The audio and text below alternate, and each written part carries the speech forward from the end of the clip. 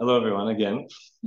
so today I'm going to talk about two studies, more or less. Uh, the first one, uh, I'm happy to present this today because many of you who are involved are here. Uh, and uh, the second study is a bit more on what I started a few years ago and more or less continuing a bit today. Uh, a bit about myself. Uh, can I hide this guy? That's chat. You have to press the chat. Oh, yeah. That's it. Okay, great. You know all the tricks. Yeah. so I, am from Canada, uh, and uh, from the East Coast. I give you a bit of geography lesson here first. Uh, I did my PhD here uh, in chemistry, and uh, just this is for reference where it is. I recommend visiting whenever you have the chance to be on the East Coast.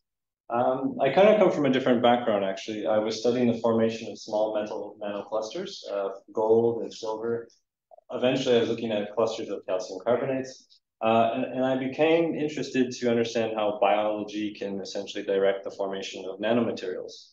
And after my PhD, I thought, okay, let's do something different. Let's see what else biology can do. And this is when my laser pointer stops working. Oh, Oh yeah, because I think Yeah, uh, yeah, that's if you right. just and yes. Again. so, so of course, uh, MTB was really something that blew my mind. Faivre in Germany, later continuing as uh, his lab moved to uh, south of France. And now, as Neha mentioned, now I'm starting my own uh, research line there as a CNRS researcher. And so biominerals in general, many of you are familiar. Um, I, I, like to classify them in different categories. And one is macro, which we are familiar with, teeth and bone. Their hierarchical structure is what makes them so unique and interesting. Uh, we also have minerals uh, from living systems like uh, oyster shell. And now you have a biomineral that's really in close contact with the living organism. So there's a specific function that's really necessary for the organism. And these are just examples of how biominerals are really fascinating and how such unique structures come from them. But I, I, was more interested, still smaller, I was interested in what I refer to as micro biominerals. This is an example of a coccolithophore microalgae with a coccolith, a calcitic plate on the surface. And even smaller, we have minerals uh, of magnetite, which I'll talk about today in magnetotactic bacteria.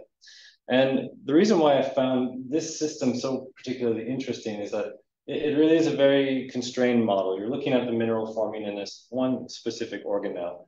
Uh, these systems are also very interesting, but a bit more complex because they have different scales. Uh, so I will talk more or less about the MTB and the magnetosome. And my, my approach is using more X-ray based spectroscopy and microscopy methods because I'm interested to follow how magnetite is formed in this biological systems. What kind of chemical controls does the bacteria use to form this crystal? And so this is my first TEM image of MTB, and I was very proud of this because as a chemist, uh, growing bacteria and only this type of bacteria, or what I saw, uh, was very uh, special for me. Um, and these guys, MTB, some a lot of the cultured uh, species we have, they grow these nice long chains in the cell. Uh, they're mostly a magnetite, but there are some species that grow the analog uh, greigite. And so when this is dried on a grid and they're kind of all in different orientations, but when you have an applied magnetic field, you see they line up very well with this applied field. So when they're swimming, they're more or less following this one, uh, this one-dimensional uh, line. And they use this, as I'll explain a bit more, uh, they use this essentially to find their preferred chemical environment. So it really minimizes the amount of searching they have to do. This is one aspect of perhaps why they have this, this magnetic uh, moment. And looking more at this chain, it's really quite amazing the, the structural details that the bacteria has to, to form this chain. One is that they, they have these organelles kind of ready to go. They have this kind of a lipidic uh, membrane ready for the crystal to form. And they also have these, these filaments that keep the structure of the chain uh, in contact with the bacteria. So these are some of the insights that have come to light the last 10, 20 years. And if we look more specifically at the crystal itself, uh, it's a very uh, pure crystal, pure compared to abiotic, uh, and highly crystalline. And you can see around it, you have this lipidic membrane. Uh, and of course, this is also another part of the uh, that's quite complex, the highly orchestrated movement of proteins, assembly, and transport of metal. So that's another aspect I won't talk about much today, but uh, it is another aspect that's quite amazing. So as I mentioned, the MTB use this, this magnetic moment from the chain to help them align with the magnetic field as they swim in their environment. So they, they're typically searching for environments with low oxygen. Uh, so it's really kind of a sweet spot that they're trying to find more or less. I show this image because I think it's interesting nowadays that MTB are forming more than magnetites. Uh, several groups have identified amorphous calcium carbonates uh, and also looking at uh, another kind of small iron-bearing mineral or iron-bearing organelle is the ferrosome, which was discovered not, not too long ago. Um, so they have actually quite an important role in transporting metals in different uh, geological systems. So um, a lot of people are finding them quite interesting to study. When they die, uh, there's another field that is also looking at the, the crystals that are buried in rock and uh, more and more, we're looking at uh, magnetic or even chemical signatures of these magnetosomes, which can relate to when the species, what species it was, perhaps, and what conditions they were living in. So this is really a, a bit of a link to the past. So MTB are quite um, uh, kind of everywhere now in different fields. So they continue to be of interest to myself as well. So I was really only familiar with these bacteria.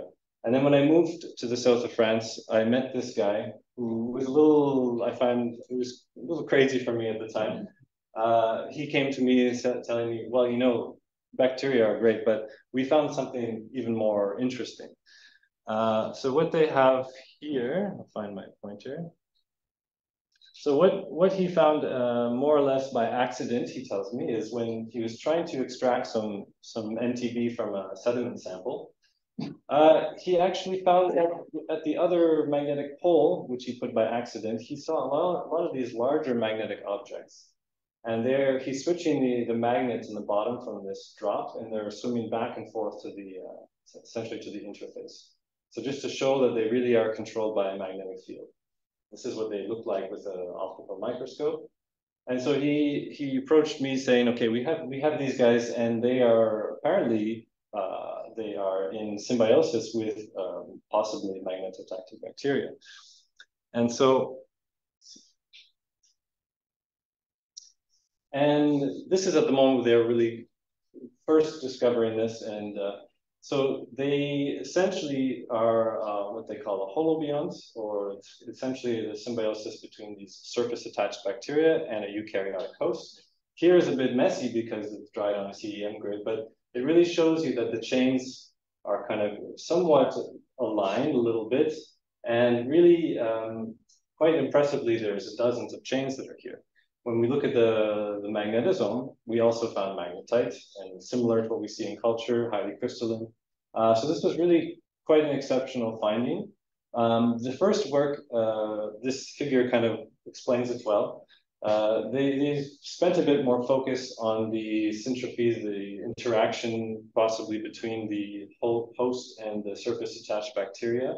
So just showing you here, and similarly uh, in, in, parallel to what an MTB free swimming would do, uh, it uses these bacteria to, to find its, its specific environment. So it really benefits from having this magnetotactic ability.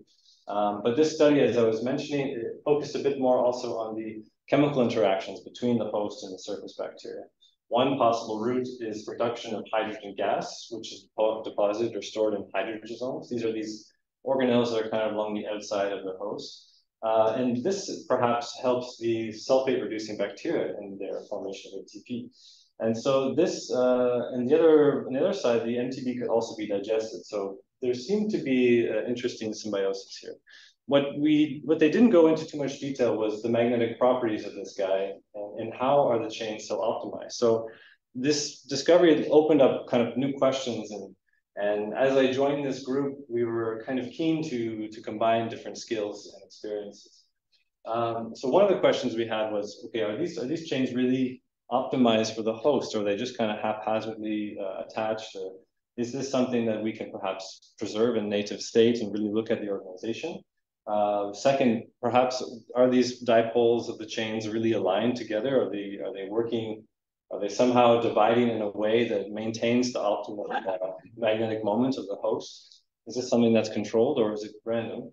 And this would have implications on essentially the interaction between these two, between the host and the bacteria, and leads more to the potentially the life cycle of, of the, the ectosymbionts, which are the surface, surface attached bacteria.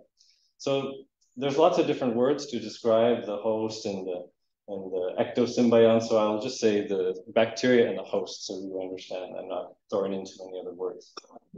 Uh, I want to Sorry that. Uh, I wanted to highlight some of the nice results we had in the study where we were kind of combining physical characterizations with the uh, magnetotactic holobiont. Roma, who's present today, gave uh, really nice work with a uh, critical point drying preparation. Uh, really nice image to illustrate the two different flagella this guy has. Uh, and it swims in, in, this direction, and I'll show you a bit later how that looks. Um, and also with the help of Kareem's team here, there's some nice SEM to look at uh, changing the, the voltage energy, you can see more about the surface structure detail, which are quite aligned from pole to pole of the swimming direction. When you change the energy to higher voltage, you get to see a bit more of the magnetosomes here, the, the lighter colors. It might be difficult to see. Um, but uh, so this really was nice to preserve the ultrastructure of the uh, holobiont. And next, we looked a bit more detail using thin sections to look at essentially the proximity of these MTB or the, uh, the bacteria with the host. So if we do this section in this, in this direction, uh, showing you here are the bacteria, the dark spots are the magnetosomes. And so more or less we were confirming what we'd seen before. But interestingly, when we make a cut in another direction, we, we see something a little more detail. We actually see that the crystals, these black spots, are actually quite close to the host. Um, wasn't observed before, but more or less a lot of the particles are kind of in the lower half closer to the uh, surface of the host. And the second was more of the structural uh, detail where the bacteria have this kind of wing structure. So they perhaps interlock with each other to stay around the host. Um, so after we had this, we had uh, kind of the overstructure, the flagella, we had this interesting wing structure, but the question was what, let's try and really look at the magnetosome chains without this fixation or chemical uh, uh, uh, modifications that perhaps, you know, there are effects that we could be shrinking or moving the bacteria. So let's try and preserve this as much as we can. Uh, and this is where I kind of came into the picture because uh, I was going to Alba Synchrotron in Spain to do uh, cryo soft X-ray tomography. And Christopher handed me this big jar and he said, take this with you. And uh, then he explained how to how to remove the holobionts and all this business. And so after making four or five grids, none of them worked. And then one grid worked and only on one squares could I find perfectly where I, what I needed. Uh, this is how this technique works if you've ever done it. Um, but essentially you're capturing just, a, I have a picture here. Essentially you're, you're capturing like a, a picture of your holobiont your sample. Um, and uh, in cryo, again, you, you are doing a, a, preservation that more or less keeps the native structure of the host and the bacteria. This is what we were really trying to, to get at. So how tomography works, you have uh, essentially, this is just an image of the, of the holobiont just face on, but then you do a tilt series so that you look at the different angles. Then you have a, essentially a reconstruction into 3D where you, you actually move along the Z direction so you can kind of uh, explore the volume uh, in this direction of the object. And with the help of um, uh, programs like Amira, you can do what's called volume segmentation. And with this, then you can have uh, now assignment of the materials. And I'll show you here in this kind of cheesy movie, uh, the identification of the magnetosomes. So it's quite a large object. There are many different things, but luckily the magnetosomes are quite defined uh, based on their contrast and their position. So it was easier to, to define this volume and also just to put in reference to the host cell. So what we found from this was that more or less the chains are what we had expected. Some of the chains had started to attach, which is probably due to the, the, the plunge freezing process. But this more or less confirmed the pole-to-pole -pole organization of the magnetosome chains. And so this confirmed the organization, but the question was still, what about the actual individual magnetic poles?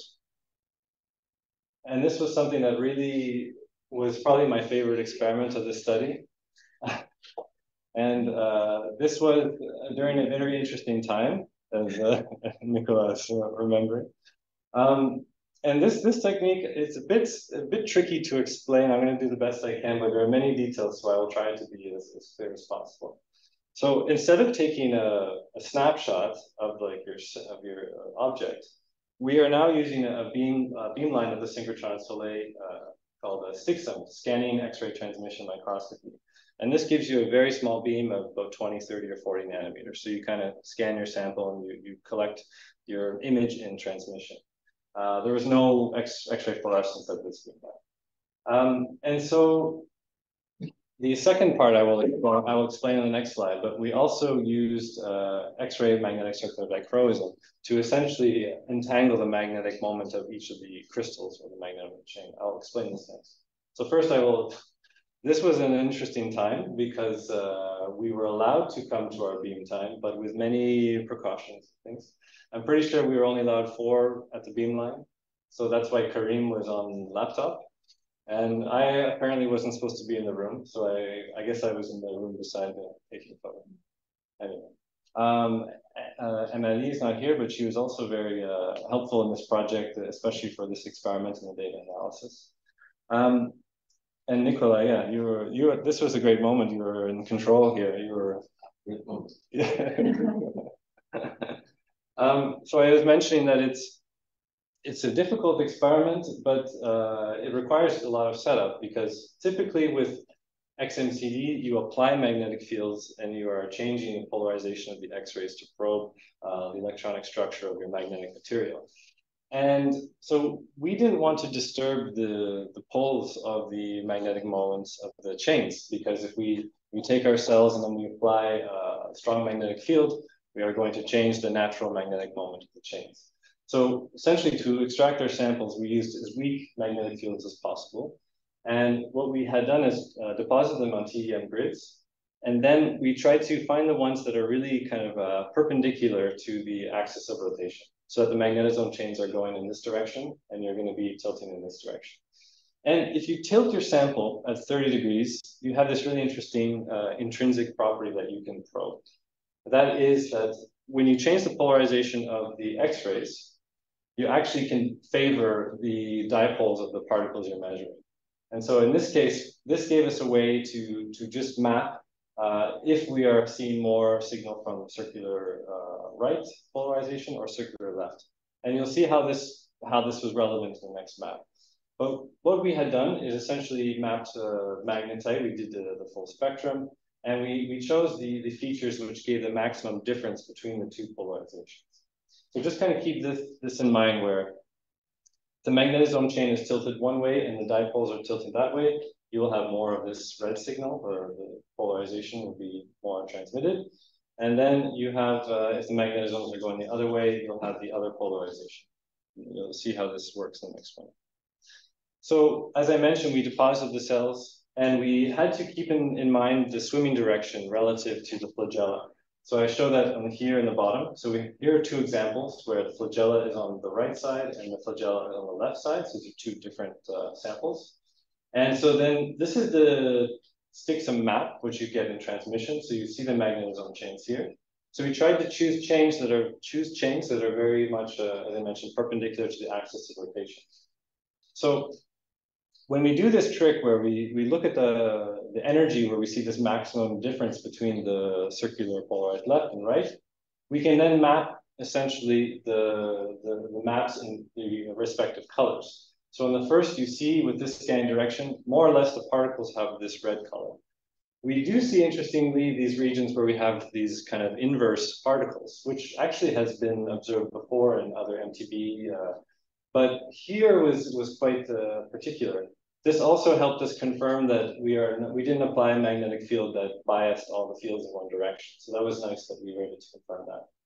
When we look at the second sample, as I was as I was mentioning, with the opposite swimming directions, now we see the color it has been reversed, so that the polarization in the other direction now has a stronger interaction with the the, uh, the. So this was really uh, quite something. It really proved that here we have evidence that the chains are organized and somewhat maintained to have a really optimum uh, magnetic moment that's given to the whole object. Uh, Nicola had uh, further gone a bit further to, to further look at this, confirming that what we have is more or less the alignment of the easy axis for magnetite. And so this was a bit going even further to, to confirm this. And uh, we had also investigated this region, but it was a bit difficult to get any uh, any uh, confident results on that. And so um, the last part was, okay, now we have the structurally, and now we have the alignment of the magnetic moments. Now let's measure the magnetic moment of this object and try to make sense of what we've measured. So this is a U-turn uh, experiment. Here, essentially, we let the, the holobiont swim in an applied magnetic field. And then we, we turn the, the magnetic field, so in the opposite direction quite suddenly. And what we do is we measure either the, the distance, like the, the radius of the turn, but we also can measure what we did here is the actual time it takes to completely reverse direction. So you see here uh, the derivative in the y direction of where the field was reversed. We're able to collect uh, this called turning time. And with this, uh, this equation here, we're able to then calculate essentially the magnetic moment from the number of turning times that we've measured. So from this, we measured 22 holobionts doing this, this uh, turn, and we solved for the magnetic moment. And what we got was a value compared to the single MTB free swimming, we have a value that's about a thousand times uh, greater. Um, considering that we have almost uh, on average about 100 of these chains, uh, this is really a highly optimized uh, magnetic object. We were quite surprised by this. Um, we further did some micromagnetic calculations to compare essentially a single chain and the magnetotaxis or the magnetotactic advantage that is needed to overcome Brownian motion in these kind of environments. And what we found that uh, from this calculation, we really only need a few chains to overcome uh, this kind of magnetotactic advantage in relatively weak fields. So as you have stronger fields like today, around 30 or 40 microtesla, really the number of chains we have here is, is in excess.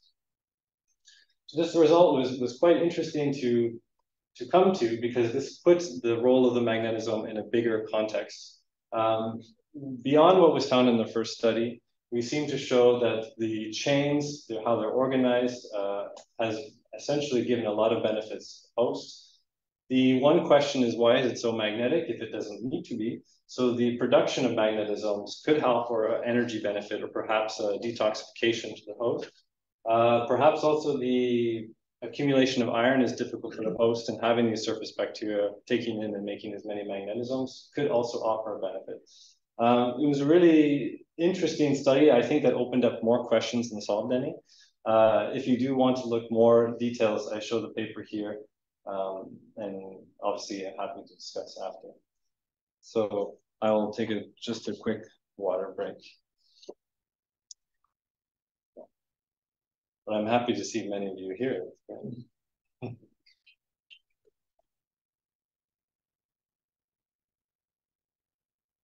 um, so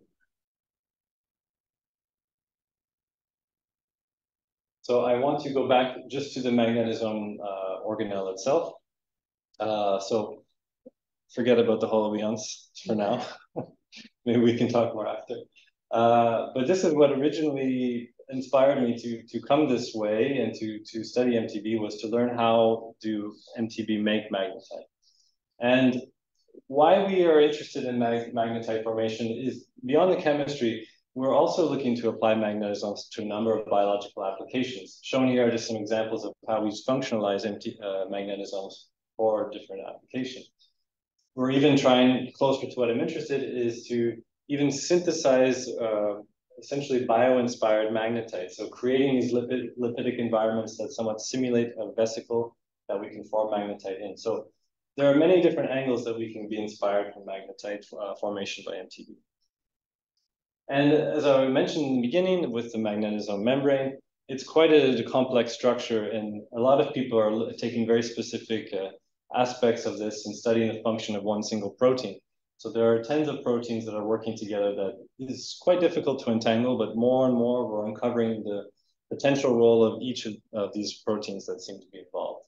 Um, I want to contrast this with forming magnetite at ambient conditions, where really you, you can form magnetite really roughly by essentially putting them together at the right uh, combination of iron 2 and iron 3, uh, obviously under more or less anoxic conditions.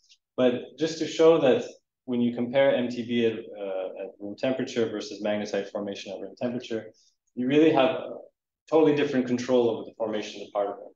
Uh, obviously, this is without any sort of kind of protecting ligands to, to passivate the surface of the particles. But one example that I like to show is that the, the magnetosome membrane really confines the, the growth of the particle. So you really are able to, to limit the size. And for a lot of MTB, the particles are in the single magnetic uh, domain. So they're quite useful for a number of applications. Contrasting that with uh, abiotic, which of course doesn't have uh, uh, organic solvent or, or protecting ligands to, to uh, confine the size, you have more of a kind of a bigger spread that's a bit more difficult to control. So this is one example of, of why MTB are quite, uh, quite impressive in this way. Um, and so this was where I kind of came in with the question, how does how does magnetite form from iron from the from the nutrient media? Is there a specific uh, pathway or is there a specific iron intermediate that's necessary uh, for the formation of magnetite? Does it just form magnetite directly? These were questions that a lot of uh, researchers were already trying to trying to ask and trying to characterize. And they've taken somewhat two different approaches. One approach uh, researchers use are uh, to collect a, a, large amount of MTB and to essentially make a pellet that they will use for a bulk measurement uh, whether that be magnetic measurement or spectroscopy, or they deposit the cells on, grids or substrates and they're doing more microscopy-based methods. And so this was the question about uh, what we are measuring here uh, versus here is that the response we get from whether magnetic measurement or spectroscopy, is it representative of uh, the whole population or is it a mixture of, of different uh, components that are giving you this response? this is one of the, the topics that's also always coming up when we discuss these two approaches from the bulk versus single cell. And I'll just briefly show one example of, uh, this was one of the one of the main studies done on magnetite formation of MTB, where they were trying to follow the formation from the iron precursor intermediates to the final magnetite mineral. And so how this works, this uh, technique is you're absorbing X-rays in the core level, they are excited to valence state and then to uh, eventually eject it. So you have a combination of electronic information when that transition happens. And then you also have uh, more structural information on how these X-rays are emitted and scattered and uh, essentially completing the absorption event. And both of them together give a lot of information about the electronic structure and the local environment of iron. And for example, in this study, when they're looking at pellets of MTB at different stages of formation, they were seeing that there seems to be a, a ferrihydrite intermediate that was rich in phosphate. And this is uh, another group had also confirmed this. Um, however, if you look at the microscopy perspective, uh, even looking at one single bacterium, this is with a STXM technique uh, similar to what I showed you before. Even just in a single bacterium, you actually have uh, a range of different iron products in one cell. So it, it begs the question, uh, do we have uh, essentially one product here that's forming synchronously, or is it really a mixture of uh, iron species that we're measuring all together? And this is where I try to um, think about this question and use a new tool, uh, a tool that new in the way that it hasn't been used to study MTB uh, for magnetite formation. This is a similar beam to STXM, but it's much longer in, in length giving you higher energy X-rays. Uh, with not as, uh, the resolution is a bit less, about 50 nanometers. But what I want to highlight is that it gives a bit more information on the uh, electronic structure by doing XANES. Uh, and also you can collect uh, scattering as well if you're interested in. So this is showing you essentially how you can measure it with different uh, detectors and complementary information. One is XRF. Um, XRF is, bit, is probably more well known um, where you can collect essentially the X-ray fluorescence of your sample as long as the energy is high enough to excite the elements that have uh, emissions below. So you can actually use XRF to do uh, XAS. And there's other kind of uh, scattering or transmission techniques that you can also apply. And this is a, a spectral microscopy approach. So what you can do is you can map a, a region of interest in X and Y, for example, and then you, you keep mapping this region over the absorption edge you're interested in. So if you want to do iron, we will start mapping either before or after the edge, and we will successively take the same region of interest. And so after that, you have a 3D data set where you can essentially look at each pixel and extract a spectrum, or you can do uh, more uh, statistical analysis to try and define uh, unique regions in your data set. And so I first use this to image MTB to show essentially what, what kind of signal we can get from just MTB. Uh, first grown under high iron condition where you have a nice uh, magnetosome chain. So you see the corresponding iron fluorescence here. Uh, you'll notice that there's some other material, titanium. This is actually added specifically to do the hyperspectral imaging because as you change energy, you slightly move. The titanium particles I deposited help give you uh, reference points so you can, uh, keep the maps uh, overlapped. And what's quite nice actually, even at this high energy, uh, this is even, this is at 8 keV, you actually have contrast to the bacterial membrane as well. So you can combine the, uh, this is differential phase contrast with the X-ray fluorescence. So you can actually have a nice image of your bacteria with hard X-ray energies. Showing you in the second example is what I kind of wanted to test was what can what kind of information from iron can we get?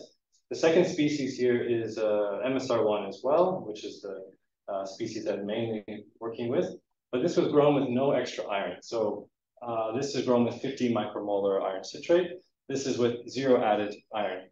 The iron that's used to form magnetosomes is likely from uh, yeast and other um, other products that are used. There's always a little bit of iron and peptone as well. So there's enough iron to actually make a small magnetosome chain like this. And still, we can still detect it with uh, this technique. So uh, as I mentioned, each pixel of this map gives you information. This XRD, uh, XRF map, essentially here you, you have the, spectrum that's collected. So obviously I'm just mapping this, uh, this peak, which is the main, uh, the strongest iron emission. And then you see this is where I was uh, putting the X-ray energy. So as we change the energy, we can collect uh, full spectrum. So we can actually we want to just highlight the whole magnetosome chain, we can collect a full uh, iron XAS uh, experiment like this as well. And to go a bit further, we can then apply some statistical tools, which really helps uh, to separate the differences in the iron signal. So what I showed you here are the two same samples as before. This is the cell grown with high iron. This is grown with low iron.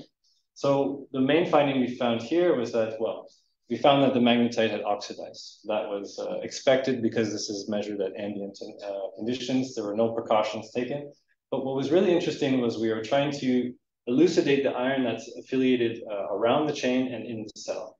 And what we had found is that um, uh, about 22% of other iron species that were found were outside of the magnetosome chain region.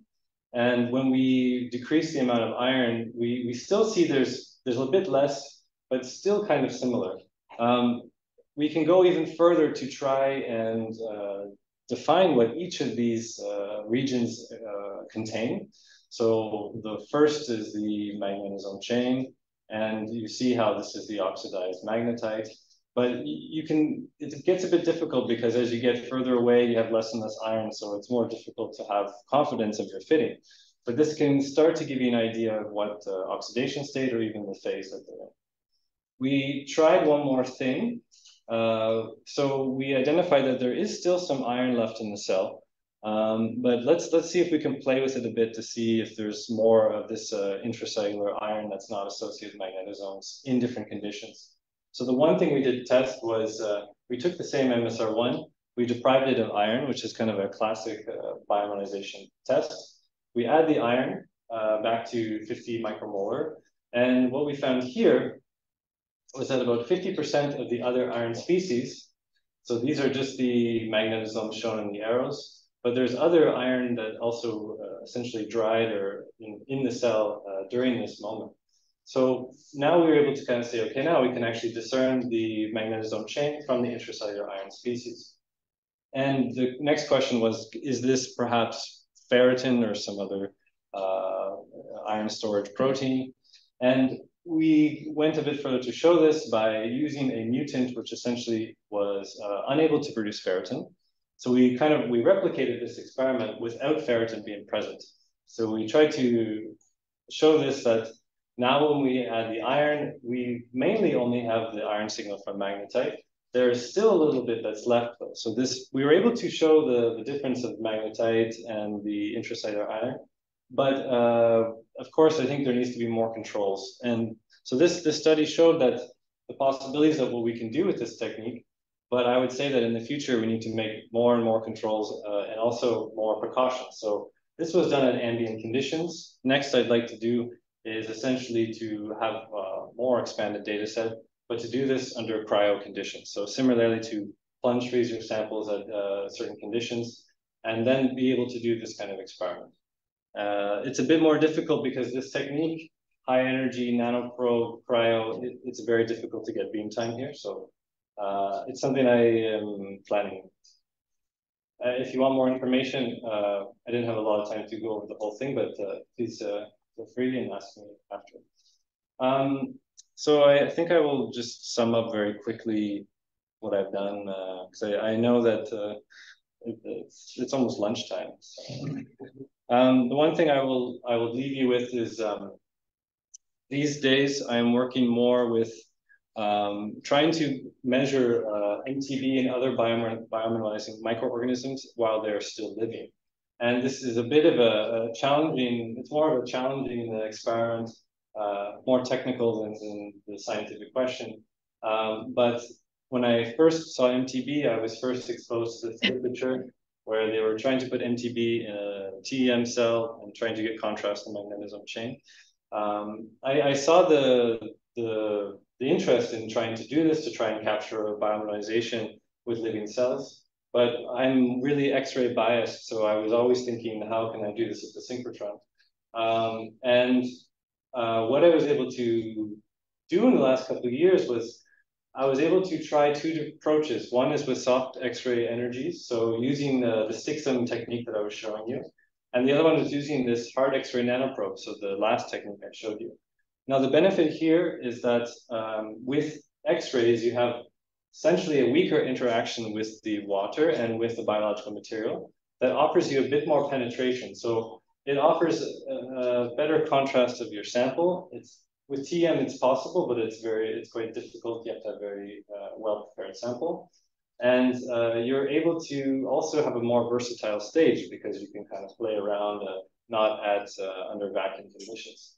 What I did find though was that at higher energy, we have a much larger penetration depth uh, compared to soft X-ray. Here I show you uh, the attenuation length of the X-rays at 700 eV is about a micron. So that means that close to half of the X-ray energy is going to be absorbed in one micron of water. When the cells are about half a micron, you're really squeezing your cell into a very small space. When you work with higher energy X-rays, you're able to essentially have more space to work with. The penetration depth is over a thousand microns here. So now you don't have to worry so much about your sample environment or having these very kind of uh, silicon nitride sandwiches. So this is something that I am uh, working on with MTB. Uh, it was able to use a kind of a custom device with silicon nitride and PEMS. And um,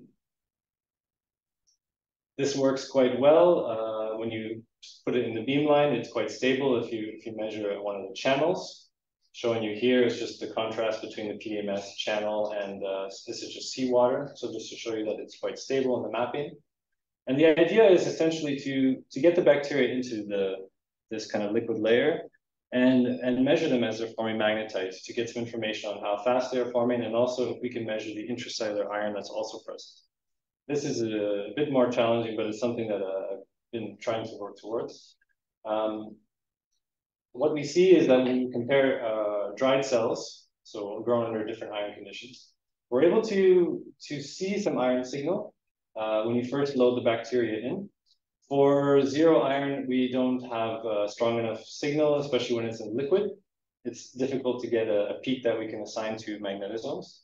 Um, but if we found that if we if we put the cells in and the this the flow is stabilized, we actually can measure over 150 cells in 10 minutes. So this gives you an idea of the possibility of getting enough statistics to follow the formation over time, rather than just a single cell, single cell.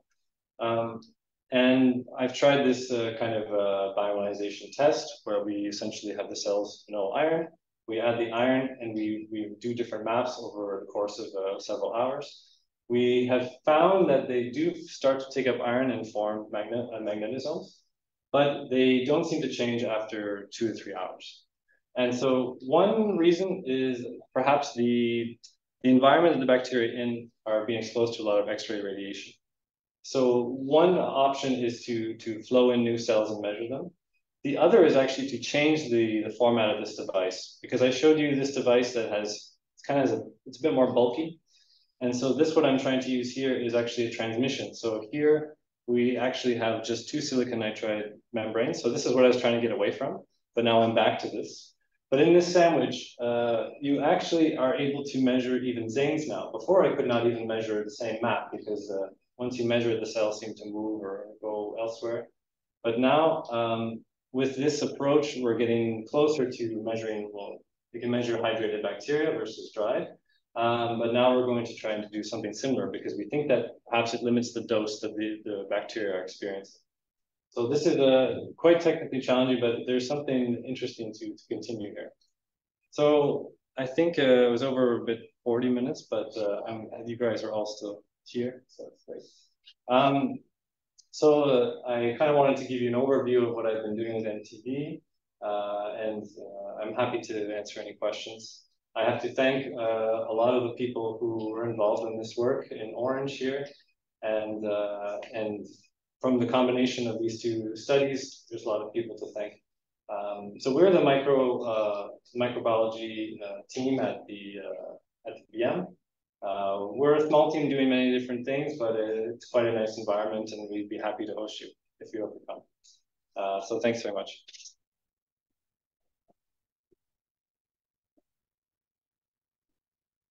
All right. So time for some questions. Uh, for people on the chat, feel free to raise your hand or unmute yourself for questions. Uh, and people here, feel free to raise questions. Kelly. Thank you for the talk. You're welcome. What, what type of process is it? And what's the like condition? Is it mm. in condition? And does it make it easier to capture mm. magnetosomes? Ah, does it make it easier to culture? You can capture it ah. um, not in analytic conditions. Ah, okay. Um, Roma can correct me, but I think it's euglenozoa, the protist of this one. Uh, and so the typically they're extracted from sediments, so they're in anoxic conditions. Um, I believe that the team of Christopher they are trying to find the conditions to to cultivate these guys. Um, I don't know if there's been any success. I don't think so. No, I think it's a very specific niche that they're occupying. Uh, so and typically they're they're actually found in many different places, but this was from a, a sea, uh, from sea sand, like from sand, essentially. Uh, but the holobiont seem to exist in many different environments, like lakes and streams as well. Uh, so so far, there's no success in in culturing them, but see.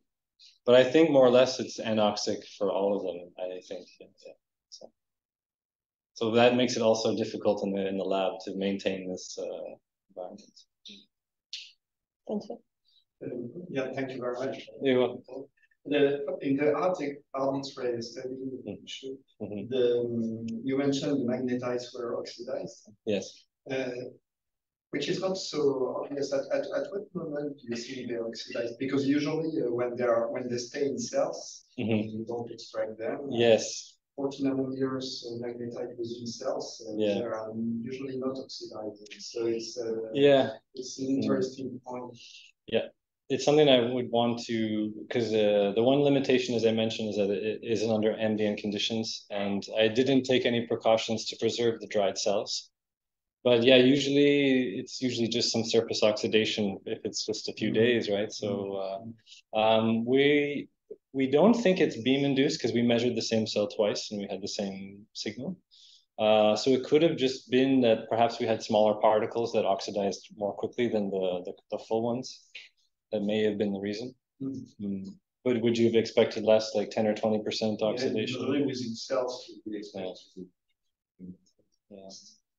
One one thing that because it's quite an intensive measurement where you have to map and you map the same region over and over again. One possibility could be that you are burn, you're burning off the carbon, so you're kind of exposing the magnetite over the course of the measurement. That could be one reason why, in the end, we have maybe something that's a bit more oxygenized. And, and then the, just to, to be correct, with the iron, which was not in magnetite, mm -hmm. or in previous magnetite, yeah, it was iron. Yeah, it was iron, oxidized iron. We didn't, uh, I showed the linear combination fitting and it, it gives all iron three uh, components, but I, I, can't comment on, you know, it's, it's, a dried cell, so I'm not sure if the, the original form could have changed into something more stable, hematite or, yeah, so, yeah. yeah that, uh, so thanks a lot for, for the talk. It's exciting to see. Thanks. You can do, uh, yeah, so I think we, we also see some kind of similar things with calcium. It's the iron itself. Uh, and uh, I'm wondering, have you any clue about whether that, that iron might be the processed or mm. the surface? Uh, on the surface of the cell? Yeah, oh, yeah. Yeah, uh, from from this measurement, I mean, I'm somewhat convinced that during the drying process, we think that a lot of the iron kind of condenses around the magnetosome chain, this kind of structure that's in the cell. And that's what we seem to observe from this kind of radial pattern, as we as you see in this uh, here. Um, but uh, yeah, I can't be sure uh, if there are some small clusters of iron that are decorating the surface. Uh, with um, so actually, we tried to do um, stick some in liquid of MTB and uh, when we measured at uh, 500 eV, so before oxygen absorbs, we have a nice cell. Uh, we didn't see any small particles, but this is STXM, so the rest of these particles could be nanoscopic, like uh, just a few nanometers maybe. We tried to do iron, so we tried to go from 500 to 710 and the thickness of the water was too much. So we couldn't see it in native state, but this is something that I think for calcium carbonates could be interesting because you are not limited uh, for calcium edge uh, in liquid at STXM. Well, you are, but not as much as iron. So, so yeah, it'd be interesting if you have uh, some. That's just something for cyanos that seems to be a concentrating mechanism. That uh, hmm. interesting. Uh, yeah, yes, Nick, go for it. Okay. Uh, so I have a question because I have observed so many uh, magnetotactic bacteria, and depending on the natural samples, mm. I always observe uh, magnetosome with magnetite. And on time course experiment, yeah, I observe very different things. Yes, that's right. So I, am wondering if the time course procedure mm -hmm. does not induce by itself a different way of different pathway of yes. Yeah. i think this is one of the questions that is uh, the one issue is that you start with iron you start with the cells that have been deprived of iron for several passages. So once you give them iron yeah they, they, they start to put it different ways. They maybe make stuff by accident who knows? So, so I, I think that that's one issue of the um, of using this kind of uh, approach. Uh, but this was one reason why I was working with this mutant where it didn't have any ferritin. And actually, it's a chemically induced uh, uh magnetite formation. So when you add a, a, specific chemical, it triggers the formation of the uh, it's a MAMB protein, which is important for the vesicle. So this it was a way to kind of get over this iron stress that you were. And what we saw was less iron in the cell. We saw less of this intracellular iron. So it could be a way. Uh, but then it begs the question with other studies, they saw this ferrihydrite uh, phosphate enriched, which is probably bacterial ferritin, probably. Yeah. So then it's the question is the bacteria probably has different ways to make magnetite. And depending on the conditions, it may choose like this is the better one, this is the better one, or combining them. So so the, I wish I had done more with the mutant and the wild type to do these comparison because I think that there's something interesting to bring to light what you mentioned. It's unnatural for them to form from zero micromolar to 50 like this. So. But uh, yeah, so I agree. It's not natural. Thank you. Any other questions? Yeah, maybe about uh, genetic limitations. So how, Yeah. how, how much are we limited? Right now, so basically there Hmm. only two strengths, right? Uh, genetically modified strains, MB1, MSR1, uh, good question. I know someone else might know more about this in the audience, but, uh, uh, so that's to, to see the diversity. Um, I, I know for MSR1, there are many mutants that are really kind of activating, deactivating different processes, like the Schüler group have, I'm sure, a whole freezer of, uh, of mutants. Right? Uh, so, and I think they're also interested in this and exploring biomineralization with different uh, knockouts. And they've been doing this for a while, but they don't often follow chemically. They look at the morphology, they look at the resulting crystal, uh, perhaps magnetic measurement, but they, they don't really follow the formation of the crystal without certain proteins. So, but I think we have, I mean, I, I think there are two strains, the ones I mentioned, perhaps there are one or two others that are have been modified now, but I don't know, like NV1 or yeah. yeah. So yeah, I, I think uh, I just used one of them, you know, so maybe uh, could open up so many different projects on different mutants. So. Um, I just have a question in terms of uh, budget. There is so much more magnetosomes in volumes. Mm. Uh, do you know if they generate in general more magnetosomes than bacteria? Or like how does it compare? Do you know? Oh, for okay, for this uh, specific bacteria that's attached to the surface. I mean, in, the Yeah. sediments Yeah. where we would find both the bacteria Ah. and the holobiont. Right. Yeah. Which one is controlling the the, the, the amount, the global amount of, uh, of generated? Do we know? I'm not sure. Uh, yeah, so it would be interesting in this particular ecological niche to see the, the controls? which yeah yeah. I mean, in these in these aliquots, there is all, also MTB. So, but I don't know if we've really looked at the. I don't know if we've compared really the quantity of each, but It's- it's huge. Yeah, so I mean, if you think of just the numbers, if you think of just the, so I'm th- I was thinking more the the on average how many you know how much magnetite per cell how that was different. But yeah, in this each ecological niche there is a lot of uh, like a magnetococcus, these uh, small uh, bacteria. So I, I think uh, yeah, difficult to know if if there's a relationship or if one is uh, so if one is maybe competing with the other. If you're interested in. More in terms of uh, really balance, like Mm. we go on a paleo, uh, like, uh, in sediments, in sediments, and we find a lot of magnetosomes. And Mm-hmm. we can determine they are biologically produced. Mhm. Uh, could we say it's, there's a high chance it was a bacteria or yeah, yeah. rather uh, holobiont, not only Uh. because of the signature, but just because we know these generate most of the magnetosomes. Yeah, yeah. I I think, yeah, based on what I've seen as well, when I do the extraction, there are so many other bacteria that I think it would be difficult to discern the the population. And because these magnetosomes look also so similar to other other uh, free free swimming MTB, so for the moment it is difficult. But there are other morphotypes, other types of holobionts detected that we've uh, that the team of Christopher and Romain have discovered. So perhaps there could be other ones that are a bit different from what we've seen from free living bacteria. But but yeah, this team uh, they definitely will know more. Christopher's team in uh, in BM. Uh, Nicola, you had a question? No, it's okay. Okay. Uh, anyone else?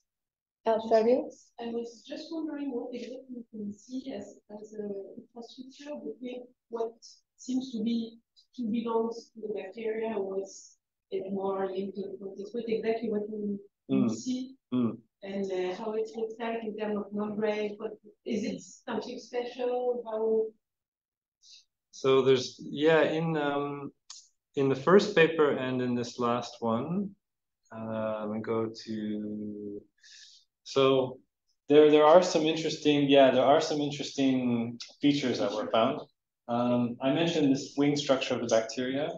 There also seems to be identified these small vesicles between the bacteria, which could, which could be perhaps communication between bacteria. This was something that was found actually for um, uh, it's a, a uh, multicellular M MMP. It's a, it's a larger um, magnetotactic prokaryote uh, organism. Uh, and uh, the other thing to notice that we found this kind of indentation uh, on the on the surface of the host that was kind of like a, a scoop. So the bacteria seems to fit very well. So it, I think that it really increases the surface area between. Yeah, I think so. I think it's optimized one for structural to keep them there. And the second, it's optimized for surface area contact between the host and the bacteria. So I think, and then this is kind of the third thing. Perhaps this could be communication between the bacteria and then communication between the host and the. But we are not sure about this. I think we were a bit hesitant because sometimes there are artifacts from fixation that could cause this. So. But, but we see this we see this often here and not here or here or so we're not sure. But ultra structurally, there are some interesting. It seems to be only lipids or organics. You have uh, nothing special or. uh, I'm not sure. yeah. Nicola, yeah. Okay. Last question. Uh, no, yeah, but I have a question. Yeah. Uh, among the different organs you, you have found you and uh, more more more, more I'm just find the low low scale between the size and number of bacteria because I, I took a picture. So remember the big one with thousands of yeah, yeah. bacteria. Yes, yeah, yeah. So I was wondering if there is a link between the size of the protist mm. and the number of. Uh... That's difficult because from this study we also show that we don't need so many chains to have a yeah. magnetotactic advantage. This is why. So that begs the the that begs the question of uh, yeah, there must be some other chemical benefit uh, mm. for production of magnetosomes, whether it's detoxification or energy. Uh, but I think there are some smaller protists with fewer magnetosomes per cell. Like there is one morphotype that has, I think, only four, or six, or eight. So uh, eight uh, bacteria yeah. per protist. So but those ones also have more magnetite per cell. But I think this this kind of consortium exists on the small a smaller scale somewhat. Uh, but it's it's complex because the they're not all also surface attached sometimes. Sometimes they're inside the host or sometimes they're semi-attached. Mm. But, but regarding one of your first slides in this question, mm -hmm. the, you showed the role of uh, sulfate for terminating mm -hmm the metabolic process. In, in principle, uh, at least thermodynamically, it could be done by a rotary person. In that case, you, you would make uh, even expressible or magnetite. Mm.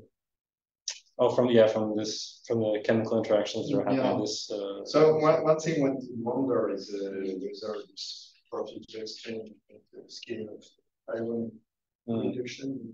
Yeah, yeah. But that's yeah, maybe it's more for honor, but then is there a possibility to deprive them from sulfate, for instance, a full sulfate-free system? I think these guys, you've tried to play a bit with what you've collected, right? Or you sometimes play with keeping the bottle open or some gas exchange. You sometimes try that, but I think it's hard to really play with these parameters. Yes.